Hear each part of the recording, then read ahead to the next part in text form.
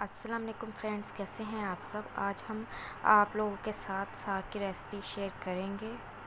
उम्मीद करती हूँ आप लोगों को ज़रूर पसंद आएगी। सबसे पहले हम मट्टी की हांडी में एक कप ऑयल गरम करेंगे।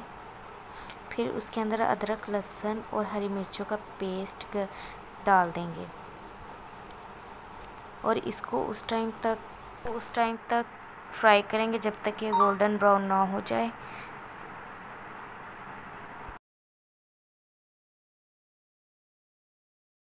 जब अदरक लहसुन लाइट ब्राउन होने लगे तो इसके अंदर तीन अदद मीडियम साइज़ के टमाटर ऐड कर दें और उसको अच्छी तरह, इन दोनों को अच्छी तरह से भूनें।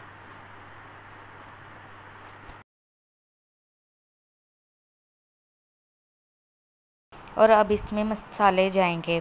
वन टीस्पून गरम मसाला वन टेबलस्पून पिसा हुआ धनिया पाउडर एक चुटकी हल्दी और वन टीस्पून ज़ीरा।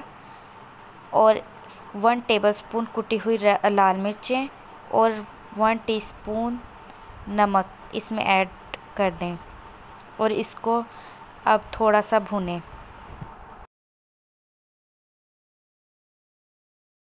जब मसाला अच्छी तरह भून जाए तो इसके अंदर बॉयल साग ऐड कर दें। उबला हुआ साग ऐड कर दें और इसको अच्छी तरह पकने दें।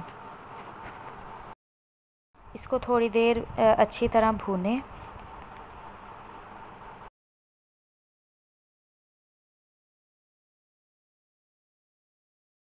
जब ये अच्छी तरह भून जाए तो इसको 10 मिनट के लिए दम पे रख दें। मज़ेदार सा साग रेसिपी तैयार है। इसको मकई की रोटी या फिर आम सादी रोटी के साथ इंजॉय करें। और अगर मेरी वीडियो पसंद आती है तो इसको लाइक लाइक करें और मेरे चैनल को सब्सक्राइब करें। Thank you